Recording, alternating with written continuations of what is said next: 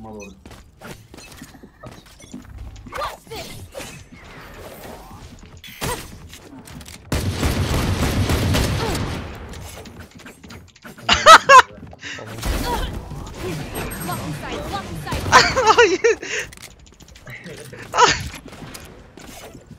Salona Adamla dünyanın en yüksek elo fight'ını attı.